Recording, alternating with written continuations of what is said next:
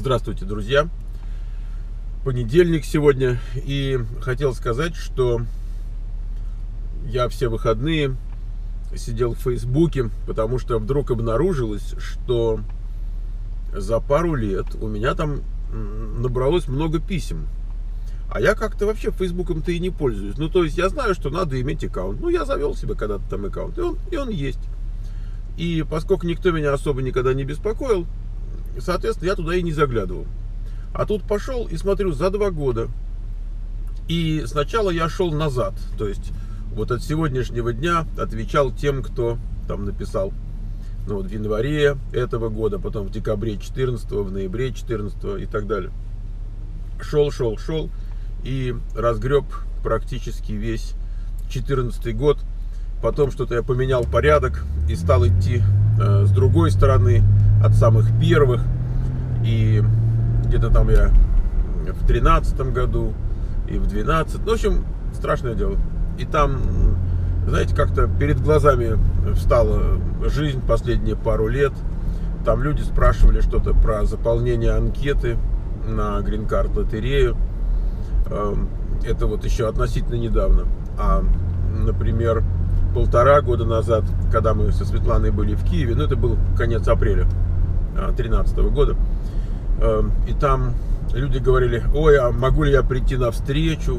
Я знаю, что вы там сейчас в Киеве, эти вот такие были. Я думаю, черт возьми, знаете, э, осадок такой грустный, потому что э, сколько упущенных вот э, что ли контактов, возможностей как-то подействовать там, полезным образом, там, ответить на вопросы.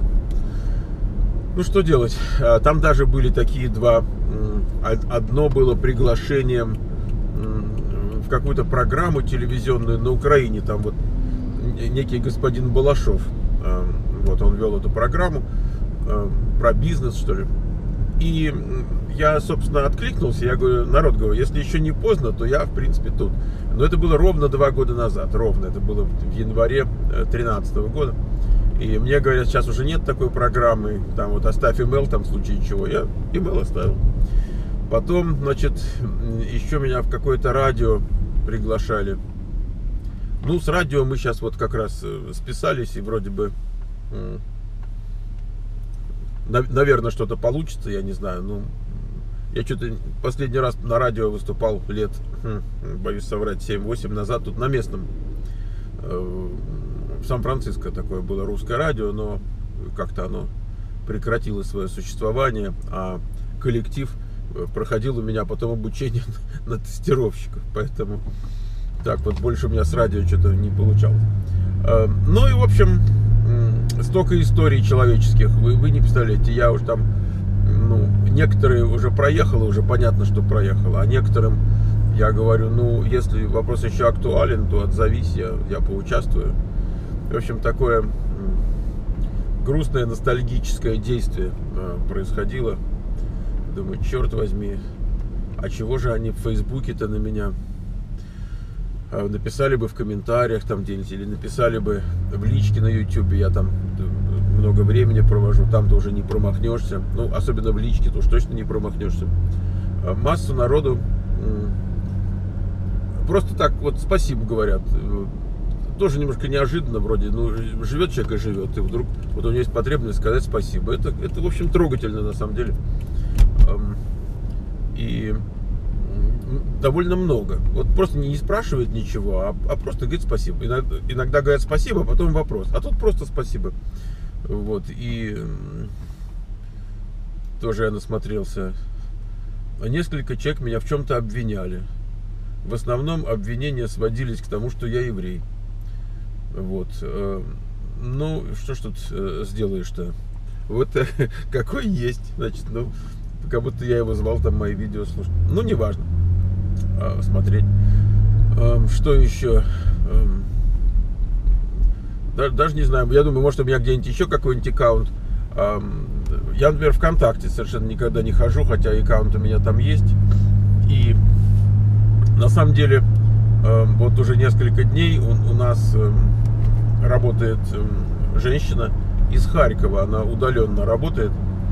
И как раз вот в ее обязанности входит э, все это общение в социальных сетях э, поддерживать. И она потихонечку будет отвечать на вопросы там, где может там, где мое присутствие не обязательно. Там очень много вопросов про школу, про стоимость курсов, про то, где посмотреть, когда начинается и так далее. И, в общем, повторяющихся много вопросов, поэтому я думаю, что вот будет очень здорово, когда кто-то э, регулярно станет отвечать. И вот она, в частности, ее Светлана зовут, она э, говорит, Михаил, у вас там э, в Фейсбуке неотвеченных там этих писем какое-то чудовищное количество. Я думаю, надо же а, а я и не знал.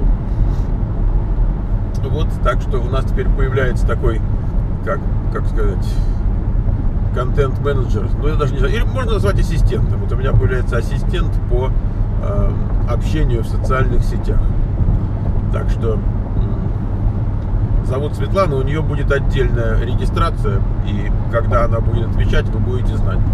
Но в общем-то, она, она отвечает в тех рамках, в которых мы как бы договариваемся, что она отвечает, не, не от балды. То есть это ответ, который я бы дал, э, если бы сам отвечал. Ну вот, э, примерно такие новости. Я только еще напоследок скажу, что сразу после Нового года, я когда про приколы YouTube там рассказывал, что вот вдруг, начиная с 1 января, резко увеличилась э, подписка, ну, количество подписчиков в день там и так далее.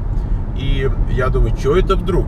Э, но мысль была такая, что люди там не, не ходят на работу, гуляют, празднуют, смотрят телевизор, смотрят YouTube, развлекаются. Соответственно, больше, так сказать, э, возможности нас увидеть.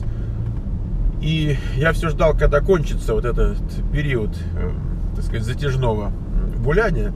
Но надо сказать, что период кончился, а трафик не, не стал меньше. Ни трафик, ни э, э, подписка.